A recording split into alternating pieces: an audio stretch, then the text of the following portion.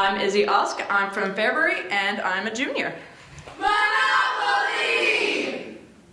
My poem is titled Villains. Villains don't come from Disney stories. They don't have blue or purple skin and pointed teeth. They don't have magical powers that they use for evil. Villains are in our everyday lives. They are found in talking stages, and I can tell you anything. They are found in I promise I'll always be here for you and long talks in the cold before you walk back into your house. But that doesn't sound like a villain, and you're right, because they weren't at first. You see, they pretend like they care, they say they're always there, they act like they're interested in you. They tell you don't shut them out, and they want to help you. They're the person that you invite to a family event just as an excuse to hang out with them. But they are not who you think they are. You know, Disney villains are bad guys. Real villains, they seem like they're they seem like your hero. They give you their hurting. You find comfort in being around them, and they know that you do. They let you slowly become more emotionally attached, and you hang out with them more, and you keep talking to them. They're the person you grow so close to, and by instinct, they're the name you look for when you see your notifications. They hand you the bottle of their cologne and say, Here, spray it on my hoodie so it smells like me again. And then they start fading away they get quiet and they ghost you. And at first you act like it's not happening and that they've just had a busy week. They'll talk to you more again soon, but they never do.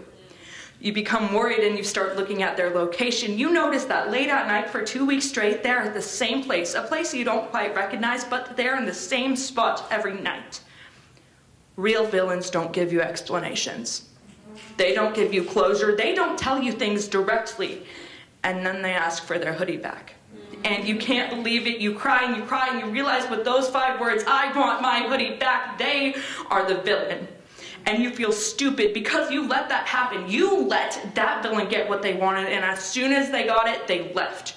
You put so much trust into them and so told them so many secrets only for them to leave, leave like they were never there in the first place. But they know how much they meant to you. You told them that, and despite that, they still left you. They used you. Disney villains cause problems that can be solved, problems you can navigate, problems that aren't forever problems. But real villains are the source of problems you will never be able to solve, problems you'll never be able to forget about no matter how much you try, problems that tease you, that haunt you, constantly remind you about how dumb you were. Real villains never truly go away.